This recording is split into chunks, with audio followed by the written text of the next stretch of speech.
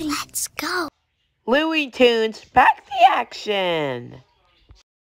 Art. Mona Lisa, painted by Leonardo da Vinci. And the melting clocks. And Scream by Edvard Munch. And Can Can poster. Last but not least, a Sunday afternoon painted by George Seurat. And music.